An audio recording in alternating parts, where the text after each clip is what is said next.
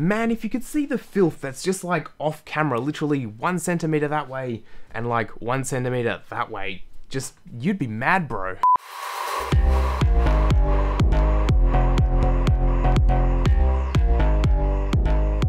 Hey, what's up everyone? CP here back with another video and today we're here with something that's fairly personal to my own setup and that is triple monitor setups, much like what is over my shoulder there.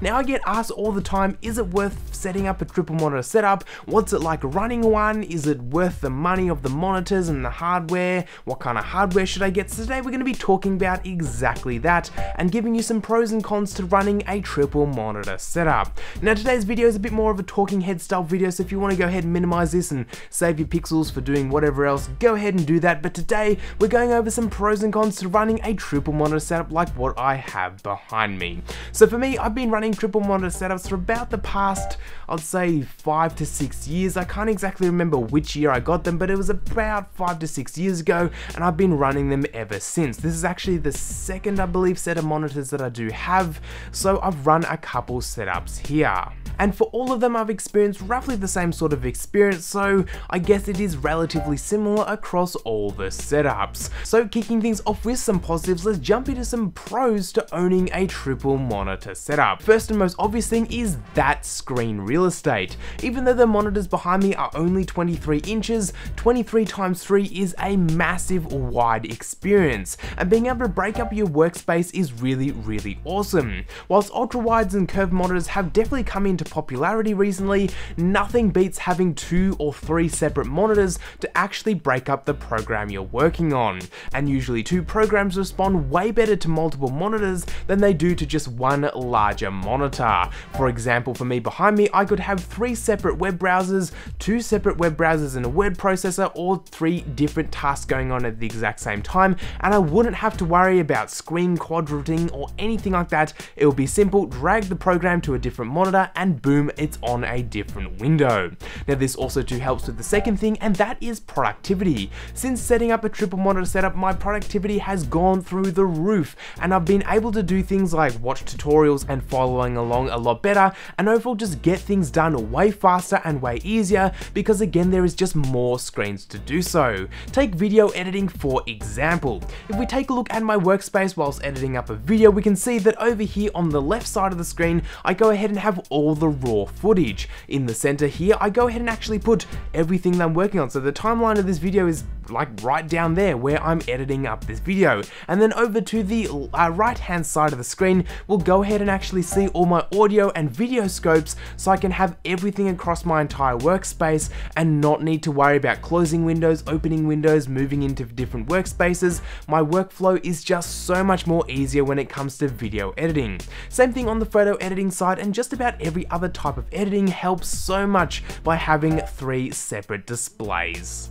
Now maybe you aren't a video editor and maybe you are more of just a writer or something like that. If you do write scripts or any sort of writing in general, three monitors are also too a massive help. Not only can you have your task that you're writing in Word up on the center screen, you could also to have your two peripheral screens going ahead and giving you extra information, maybe research documents, notes or anything like that. So having three screens is awesome for productivity. Now you may be a gamer and three screens are also too going to be awesome there. If you love your simulation games, racing, racing or flight sims, they're going to be absolutely awesome on a triple monitor setup. Personally, I've played a couple flight sims and a couple racing simulators and I have to say, really awesome experience. Whilst it isn't like being in a real race car or in a real aeroplane, it is still very, very close and beats having a single monitor as your FOV is so much wider. Also too, if you are a gamer, it may also too be a lot cheaper option to getting a higher FOV than picking up something like a VR headset. Whilst a setup like this this won't take you up the entire field of view, it will take up a large portion of it, so it kind of gives you a very immersive experience.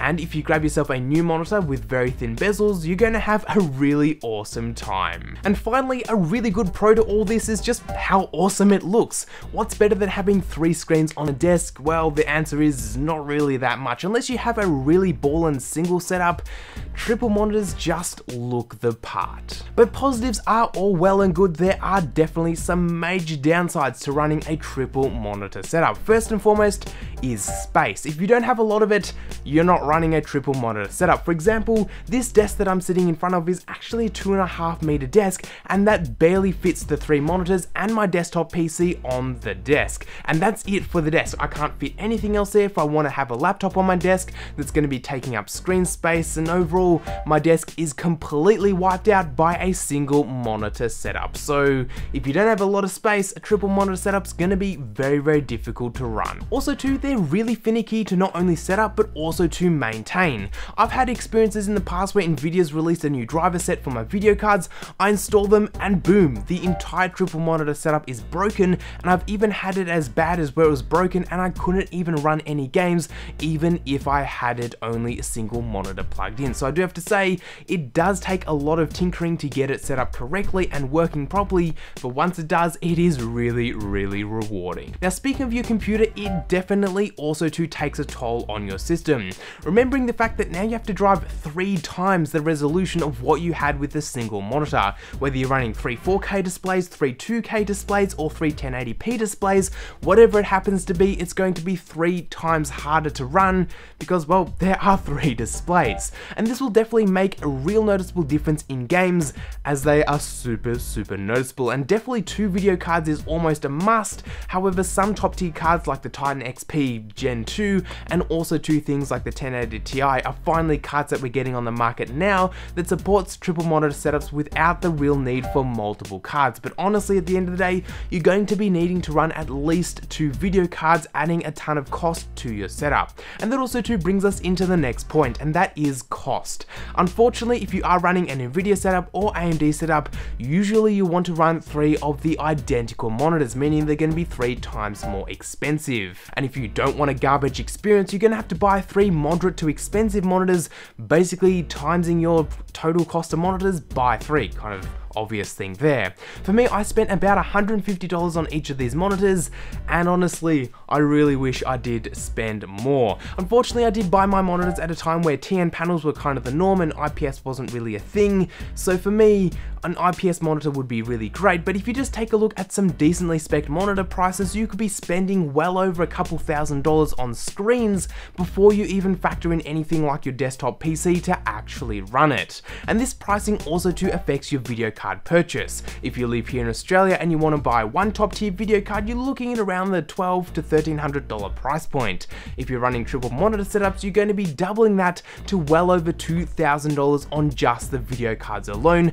not including the CPU you'll need to run to actually not bottleneck your video cards, the better motherboard you're going to have to run to support the multiple video cards, and the costs just keep going up and up. Power consumption is also too one thing you'll want to keep an eye on as not only are you running more video cards in a higher end system, but the monitors themselves will be drawing more power. So if you are in an area where electricity is relatively expensive, you may want to keep an eye on the power consumption of the monitors and the PC running them. And then the final problem that you may run into in the final con of a triple monitor setup, other than the rest that we've just mentioned, is application support. Whilst a lot of games do run just fine with triple monitor setups, and a lot of applications in general do run just fine with triple monitor setups, there are some more pro apps and some more indie games that just completely freak out with triple monitor setups to the point where you actually have to reach around to the back of your computer and unplug the because they just freak out that much. Not as much with pro apps, but definitely with some games you can get to the point where they'll just crash completely until you unplug the monitors. Sometimes Sometimes this can be worked around with software like SoftTH3, but at the end of the day, you do need to keep in mind that you are introducing sort of out of spec experiences that aren't really coded for. A lot of programmers do build their games and their applications for a single monitor experience, so adding three of them brings you into that category of out of kind of spec applications. But at the end of the day, would I recommend a triple monitor setup? Absolutely yes. Running one for the past sort of five or so years, I have to say it has been an epic experience and going back to a single monitor or even just a dual monitor setup is absolutely difficult. Even ultra wides are still hard to get used to again because just having dedicated screens to separate your tasks is something that I personally really do like. So TLDR time of this video, would I recommend a triple monitor setup?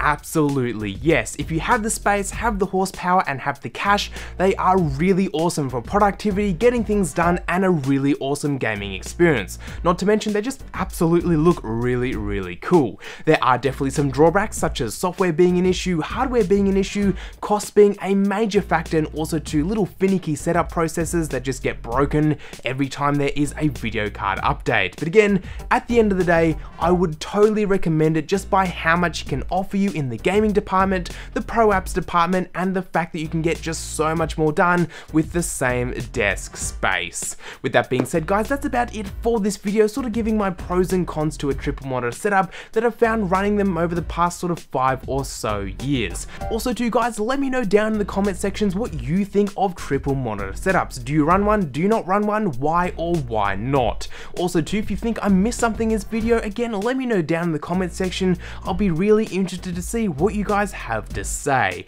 Otherwise guys, thanks for watching and I'll see you all in the next one.